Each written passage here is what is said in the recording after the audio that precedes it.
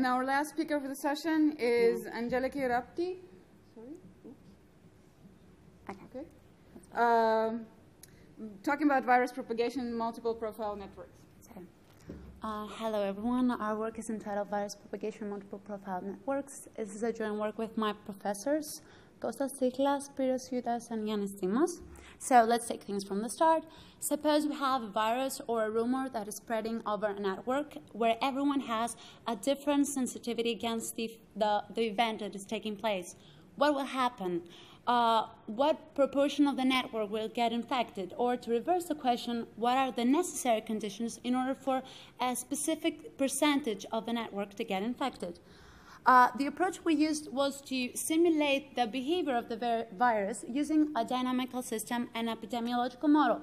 For those not familiar, a dynamical system is a um, system evolving over time where every state is computed based on the previous state. And epidemiological models are models that resemble um, mumps, um, simple viruses or flus, and they have specific states and characteristics. So what are we trying to do? We're trying to find some points, some fixed points that the system is not going to change state. It's going to be in equilibrium. And when is the system in equilibrium? When the nodes don't change state. They are in some simple state. And that means that we want to be, we want the system to be stable, that no perturbation can change uh, the state of the network. So um, we use the SIS propagation model that we applied it on a heterogeneous network. That means nodes have different sensitivity against the effect, and we provide all the conditions that are required for the, every fixed point to be stable. Um, the SIS that we use is this one. That means everyone can be in two possible states, S and I. S means that someone is not infected but is susceptible to it. And I is infected when someone is infected from the virus and so can infect the others. Uh, and these are the equations that describe the system. Uh, the first one shows the rate of the susceptible ones, and the other one shows the rate for the infected ones. So uh, these are the results that we base our work in discrete time and continuous time. Our model is in continuous time. And so let's take things from the start. The SIS propagation model that we used was applied on a network where there is no fair play. That means we are not all the same against the effect that is taking place, the event that is taking place, the virus. And we assume, for, a, uh, for instance, that we have two profiles, A and B. We could have many, but for the description of the system, we use two. The system parameters that we have is the healing rate, delta, that means the death rate of the virus, and the attack rate, uh, B, um, beta, that is the infection rate of virus. So, in order to have an example for you to understand, what is the attack rate? Assume that we have this network where we have two profiles, the ones with the red hat and the ones with the America flag hat. Um, recently in Greece, we had a referendum where people had to vote yes or no. So this, the virus that is spreading is the referendum. You have to vote yes or no. The ones with the red hats are more prone to vote no, and the others with uh, American flag hats are more prone to vote yes. So it's the same rumor applied in this network, but people have different sensitivity against the virus.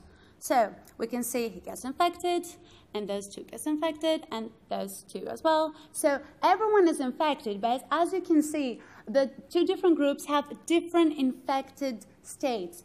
Uh, the red hats have the yellow one, the yellow sick face, and the other ones have the green sick face. That means they are both infected by the, the event that is taking place, but in a different way.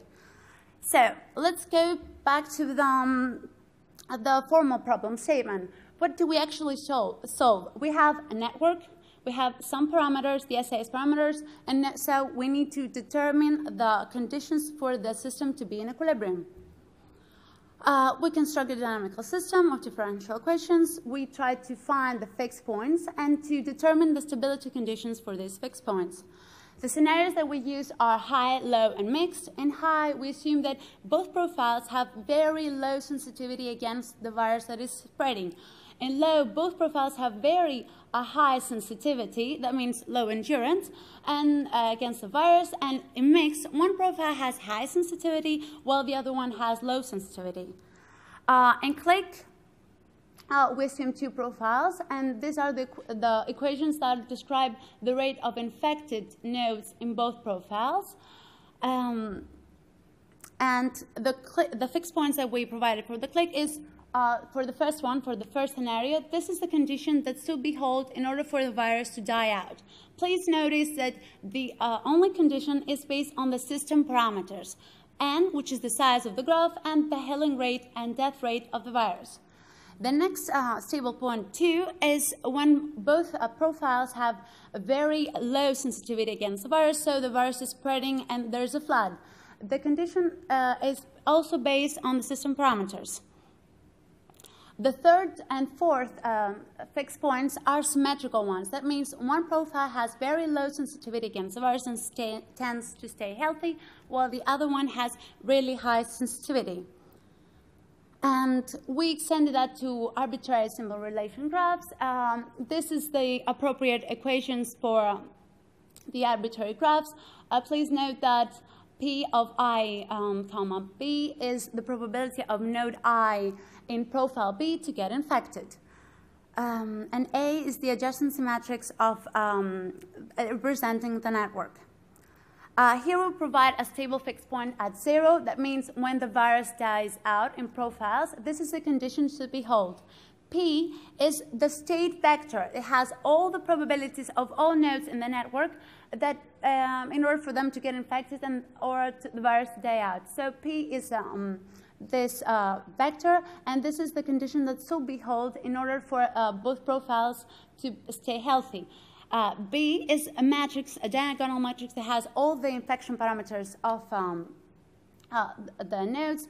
A is the adjacency matrix, and delta is a diagonal matrix with the health rates of all profiles. Um, in the case of two profiles, when we want the network to get flooded, so all nodes to get infected, these are the conditions that should be held. Um, this is a different approach in order to characterize the state. Uh, we impose that all nodes should have a degree uh, within some range, A and B. And uh, in the case we want one profile to have high sensitivity while the other have low sensitivity, these are also the, the, um, the conditions that should be, should be held. And again, D is the degree node of every node in the, um, in the network. So in the experimental results, uh, we implemented a discrete time simulation and in both cliques and arbitrary graphs, and we um, provided three scenarios in our experiments as well, when the high, low, and mixed data I described earlier.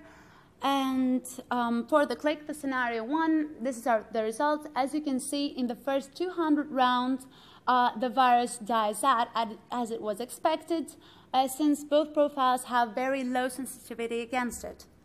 In the second scenario, when we have uh, both profiles have very high sensitivity against the virus, and so the network is flooded, uh, as you can see, profile B, the red one, and profile A, which is covered by profile B, are already covered, they are flooded.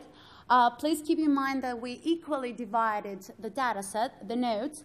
Um, so both of them are flooded, and so the network is an epidemic. It's uh, all of them are infected. And in the last scenario in the clique, one profile is down to zero and one profile is up to 1,000 um, because uh, one profile has very low sensitivity, so it tends to stay healthy, so it's down to zero, while the other profile tends to get infected uh, because it has a very high sensitivity against the virus, so um, it gets flooded. In the arbitrary uh, scenario, uh, in the first scenario where the virus dies out, this is the, um, the experimental results. As you can see, in the first 12 rounds, the virus dies out, and so uh, the system uh, the system uh, is steady and all nodes stay uh, healthy. Please keep in mind that in all graphs, in all data sets, we consider uh, in the experiments that um, this a fixed point to be stable when for many rounds the state doesn't change. We have the same results on infected nodes or not. Uh, in the second scenario, where the network gets flooded, as you can see, a different visualization of it um, I forgot to mention that we use the Enron email network, where we can see changing emails between a company, the emails account, email accounts of a company. As you can see in the initial status, we have um, some nodes that get infected. The green ones are the ones that are healthy, and the red ones are the ones that are infected. And since both profiles have a very high sensitivity against the virus, they tend to get infected. And so the final status is this one, where everyone is red. The other ones all around that you can see are green are just the emails that were sent outside the company. So they are not taken into account. They are nodes that have no edges to every, uh, any other node in the network. And in the third scenario in the arbitrary graph, these are the um, results. One profile has low sensitivity, while the other one has very high sensitivity. So in profile B, everyone tends to stay healthy, and so um, the results are down to zero, while in profile A, they tend to get infected. We also provided, uh, with a different data set, the Montgomery County data set, um, a different uh, way of profiling nodes. Here we combined two data sets from the Mont Montgomery County, where we had the initial network, how people are um, connected to each other, and a demographics data set where we combined the age attribute, how old is everyone, and the interactions between them. So uh, we, uh, this is just for um, to get an insight of what is going on here, how, uh, which is an alternative way to um, profile nodes. As you can see, we um, split them into age groups. One was uh, the children under age of 10, then 10 to 18, 18 to 30, and 30 to 50. Um, and this is the, the actual, the um, uh, final status of the network. And I'm not sure it's really um, easy to see that there are a lot of children, so since they are very uh, sensitive against the virus that is spreading, most of them tend to get infected. So, um, in order to wrap things up, uh, we showed that there are infinite fixed points based on the relationship uh, of the various parameters we use. So depending on the size of the graph and the parameters you choose, there are infinite fixed points that you can have. And they just have to um, hold uh, the conditions so to be stable. And please keep in mind that having two profiles is not the same as having two viruses spreading on the same network. It's totally different because there is a lot of complexity that is underlying using two profiles in the same. Um, in the clique, we've given all the conditions that should be held for the virus to die out or spread or have one profile that has uh, high sensitivity and the one, the one that has low sensitivity. And so we connected the footprint of the virus with the parameters of the profiles. In the arbitrary graph, we provided a general condition in order for um, then the virus to die out, so an embryo to stay healthy. But in the case of all other fixed points, we just provided a qualitative uh, characterization of the system. We just saw that, okay, there is a fixed point above virus, above, above zero, sorry, but we impose that all nodes should have a specific degree within some range in order for it to exist. Um, and of course, the result is valid for multiple profiles. So, future directions, of course, we could extend this work to other virus propagation models and maybe study the case where we have multiple profiles like this one and multiple viruses at once. So, these are the Thank you. Thank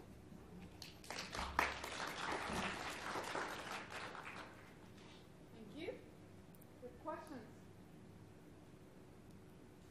How did you choose the seed nodes to start the process? Uh, uh, that was in the, um, and um, let me tell you the slide. I'm sorry, I was fast because of time.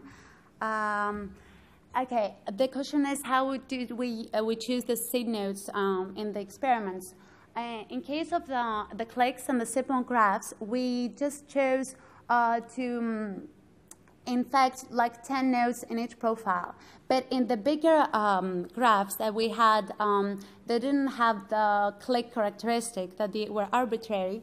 Uh, we noticed that in so social graphs, uh, there is um, simple characteristics. There are highly connected subgraphs that tend to get infected and talk to each other, but there are little, uh, there is a small number of edges between the small, um, small subsets. So we chose to infect um, the top 5% of nodes that had maximum degree in order to show the flow and how things evolve. Because uh, another, any other way, you, we couldn't see the spreading. It was difficult to see the spreading.